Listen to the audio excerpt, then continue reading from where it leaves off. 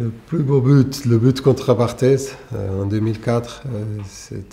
c'était choisi déjà pour le supporter euh, de Paris comme le meilleur but, mais contre euh, Marseille, en, plus le classique, euh, en plus Fabien, Fabien Barthez dans le but, c'était un but très difficile à mettre.